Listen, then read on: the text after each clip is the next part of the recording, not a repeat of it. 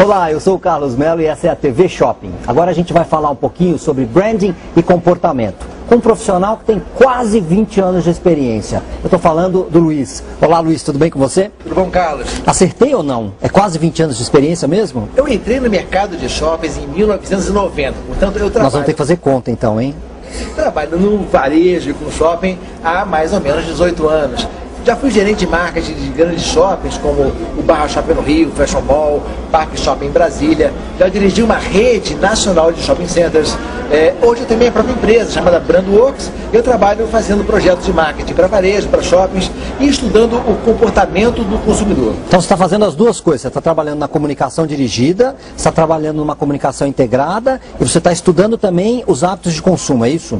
Exatamente, porque não dá para a gente fazer a mesma coisa sempre, Carlos. O que eu vejo hoje, e me preocupa muito isso, é que os shoppings, via de regra, repetem fórmulas de 20 anos atrás, quando eu comecei no setor.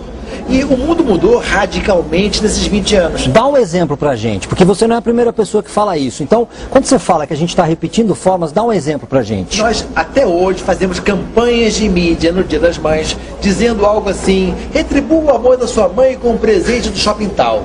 A gente está vendendo a data, não está vendendo o shopping nem a marca. A gente há 20 anos faz duas campanhas de liquidação, mesmo sabendo que o varejo não tem mais só duas coleções de verão e de inverno. Há 20 anos a gente recorre sempre aos mesmos sorteios quando os lojistas nos pressionam reclamando de vendas fracas e a gente não olha para esse mundo novo que está aí. O consumidor mudou e o marketing de shopping centers precisa mudar porque nós não estamos nos atualizando, nós estamos tornando o marketing de shopping center algo irrelevante, Carlos. Não é à toa que as verbas minguam, os departamentos são enxugados e nós temos perdido o respeito dos nossos chefes, lojistas e das empresas, é porque a nossa função não se atualizou. É preciso atualizar o marketing de shopping centers e fazer isso à luz dos novos hábitos de consumo nossos clientes, das pessoas que vivem das nossas comunidades. Olha só quanta oportunidade bacana que o Luiz Alberto está contando para a gente aqui na TV Shopping. Ou seja, há 20 anos que tudo se faz da mesma forma. Que tal a gente falar um pouquinho de inovação? Luiz, podemos falar um pouquinho de inovação? Devemos falar de inovação, Carlos. A gente já identificou o problema, então nós estamos repetindo fórmulas. Como é que a gente pode inovar? Como é que a gente pode trazer alguma coisa melhor e mais criativa e produtiva? Antes de mais nada, eu sugiro que a gente pare de pensar no shopping center como o centro da vida das pessoas. Nós somos sim um centro de compra, serviço e entretenimento, mas nós não somos o centro da vida das pessoas. Ao contrário, as pessoas são o centro da nossa vida. Estou falando de consumidores, de lojistas, de funcionários de loja. Nós dependemos dessas pessoas, desse povo. Primeira coisa é começar a entender isso. Tem uma historinha que eu queria te contar, compartilhar com você, com nossos ouvintes, nossos espectadores.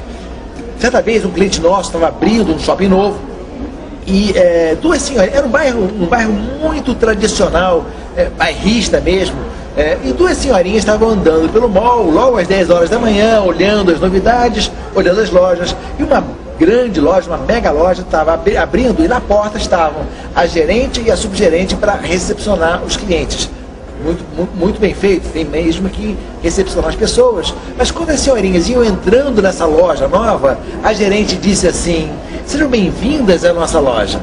E a senhorinha respondeu: Sejam vocês bem-vindos ao nosso bairro. nós achamos que nós somos o centro do universo, né? e quando na verdade nós estamos entrando na vida das pessoas, nós estamos tentando é, nos posicionar nessas comunidades, temos que ter um pouquinho mais de humildade, um pouquinho mais de foco nas pessoas. Essa história é real ou não? É real. É real essa história? É real. Ou seja, peça permissão, seja convidado primeiro, é isso?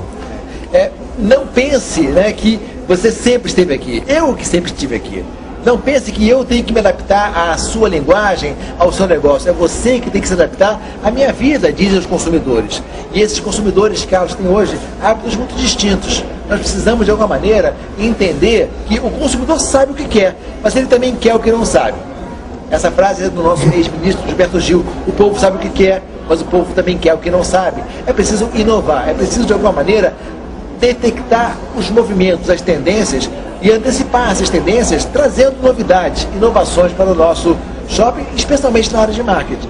Nós vimos agora, na, na apresentação do pessoal da Box 1824, né, algumas tendências importantes. Falamos muito sobre sustentabilidade. Antes de você continuar, Box 1824 foi entrevistado aqui na TV Shopping. Você pode procurar também essa entrevista no site da Abrace. Perdão. Muito bem. Sustentabilidade é um tema extremamente importante. É, esta semana, aqui em São Paulo, a, a Abril é, divulgou um dossiê MTV sobre esse tema, pesquisando jovens sobre o que eles pensam sobre sustentabilidade. Seis em cada dez jovens não sabem direito o que significa essa expressão sustentabilidade. Muitos acham que tem a ver com sustentar si próprio, é, não depender dos outros e tal. Ainda assim, existe um movimento grande em favor da defesa do meio ambiente, da preservação do planeta. Os jovens brasileiros, isso não é um fenômeno apenas alienígena, estrangeiro, é também local. É, eles estão preocupados sim com violência, com drogas, drogas, com desemprego, mas também com o aquecimento global e com a poluição. É, só que essas pessoas não sabem direito como contribuir. Para você ter uma ideia, Carlos, 55% desses jovens dizem que contribuem para a preservação do planeta não jogando lixo na rua ou na praia. Isso é gesto de boa educação, não de preservação. Isso é muito mais ecologia do que sustentabilidade. É preciso a gente explicar para essas pessoas um pouco o que é sustentabilidade e abraçar de verdade esse conceito, porque isso será um diferencial importante no futuro. Outro exemplo, o, o, o pessoal da Box, os outros 24, o Roni e o João Paulo, falando muito sobre conhecimento. Né? Uma pesquisa recente feita pelo pessoal da Mastercard eles têm uma pesquisa é, chamada é, é, What Matters, o que importa para o consumidor. E é com base nessa pesquisa que eles desenvolvem aquela campanha é, do que não tem preço. Né? E veja que, para o brasileiro, especialmente os mais jovens, conhecimento aparece com uma carga muito importante. As pessoas finalmente compreenderam que hoje o futuro profissional e pessoal depende do, do nível de instrução, do nível de conhecimento que a gente tem. Portanto, investir não apenas em consumo, em vaidade, mas também em informação e conhecimento pode ser um diferencial relevante e inovador para os nossos centros comerciais. Como é que você traz isso para dentro de um centro comercial? Não apenas tendo locais de compra de produtos, mas tendo, promovendo também debates intelectuais, tendo galerias de arte. Por exemplo, tem um, um exemplo que eu vi no, no Chile que me deixou muito impressionado. É, nós não temos é, locadoras de, de vídeo, né? eles têm locadoras de livro, uma loja linda, né, onde as pessoas podem locar livros. Nós temos, saiu recentemente também aqui no Brasil uma pesquisa, Retratos da Leitura no Brasil, que mostra que 55% dos brasileiros leem, mas 45% não leem. Isso significa o quê? É que essas pessoas não têm o hábito e não têm acesso. Mesmo as pessoas que leem, né, são 55% dos entrevistados, apenas cerca de 30% compram livros, 28% para ser mais exato. Mostra que parte do empecilho é o custo do livro. Nós podemos, por que não, criar centros de leitura, programas é, é, é, sociais que possam incentivar a leitura e a doação de livros. Podemos ser muito mais do que centros de compra. Nós temos que nos integrarmos à comunidade. Não for, nós, nós chegamos agora, a comunidade sempre esteve ali. Vamos lembrar do caso das velhinhas lá naquele shopping e pensar que nós temos que não somos o centro da vida das pessoas. Elas é que são o centro da nossa vida. Luiz, uma outra coisa que o pessoal da Box falou bastante é que a gente saiu de uma década linear, estamos entrando numa década dimensional.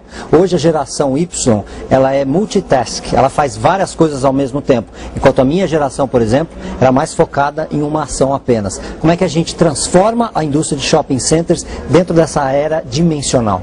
Uma pesquisa divulgada semana retrasada em São Paulo pela Cartoon Network mostrou que 73% das crianças entre 7 e 15 anos de idade são multitasking, multitarefas, ou seja, conseguem fazer mais de uma coisa ao mesmo tempo. Os pais não acreditavam é que uma criança podia fazer a lição do colégio, ouvindo televisão, escutando música, teclando no computador, mas elas podem, porque o cérebro desses nativos digitais crianças que já nasceram com a internet, com o celular, é, é, é preparado para isso.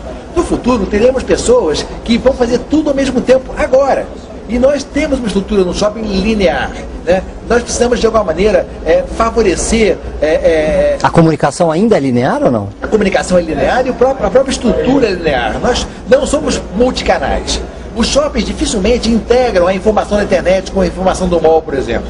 Nos Estados Unidos já existem, inclusive, alguns testes onde você pode entrar no site do shopping, verificar se tem um produto específico e, e se tem o seu tamanho, e só então sair de casa para ir até o shopping comprar, porque você não vai perder tempo numa viagem frutífera. Coisas assim tenderão a ser mais frequentes no futuro, porque as pessoas não são lineares, elas querem trabalhar com várias realidades simultaneamente. É a sinergia de múltiplos canais, de múltiplas realidades, de múltiplas dimensões. Luiz, muito obrigado pelo seu tempo e obrigado por dividir essas informações com os telespectadores da TV Shopping. Muito obrigado a vocês pela oportunidade de estar aqui falando sobre assuntos tão apaixonantes. Prazer falar com você.